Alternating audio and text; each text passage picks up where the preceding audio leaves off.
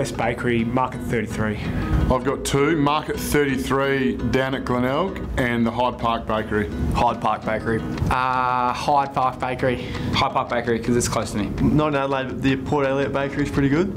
Port Elliot Bakery or Bakery on O'Connell. Can't go past Port Elliot Bakery. Port Elliot, I reckon. I always go down to Port Elliot when I get the chance. Port Elliot's got a good name, so we'll go with that one.